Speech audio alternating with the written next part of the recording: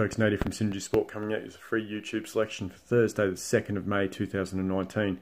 Uh, before we get you onto your free play, quick recap of what happened in Wednesday's action. Um, so on our premium cards, we had Dale who hit two and one, um, including one of those hits was his 10 unit step out selection. Uh, so it was a good day all around for Dale. Um, Michael went 1 and 0 in his premium selections. Um, Adrian went 0 and 2 in his straight bets, but he did hit a plus 153 parlay. Um, so not a, not a bad way to recover some of the losses there.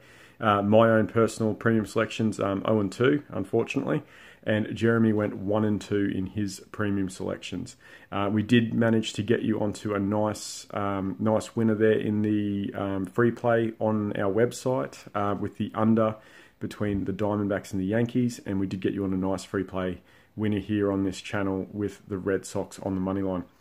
Um, if you haven't already, make sure you subscribe to the channel. Make sure you head on over, follow us on our social media um, channels, so our Facebook, Instagram, Twitter.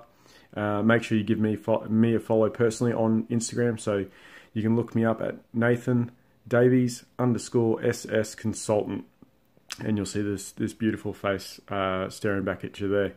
Um, anyway, we'll just jump straight into it your free play for Thursday. We're looking to match up between the Boston Red Sox traveling to the Chicago White Sox. Price on the mound for Red Sox. Giolito for the White Sox. Um, your free selection here, we're going to take the over eight and a half runs. Um, in this particular um, circumstance, we think this is a perfect storm for um, for this total to fly over the eight and a half. Um, so we've we note here you've got a Chicago White Sox team. They're currently ranked 28th overall in team ERA with 5.32. Um, they're 25th overall in batting average against um, at giving up 260. They are, however, fifth overall in in their own offensive batting average, um, hitting at 260, and they are also 11th in runs scored, scoring 5.1 runs per game. Um, we do note that on the Chicago White Sox um, side of things, Giolito is coming off a, um, a quality uh, start where he didn't give up a single run. Um, his two starts prior to that, he did give up nine runs in 9.1 innings. Uh, so we like a bit of regression there on his part. Um, we also do note the uh, Red Sox, they ranked 23rd in team ERA, so 4.94, um, and they are giving up a batting average of 250. The Red Sox bats have been hot lately. Uh, they have managed to score seven runs per game, um, averaged out across their last three games. Um, so we like them to take uh, take advantage of the poor pitching uh, rotation here for the White Sox.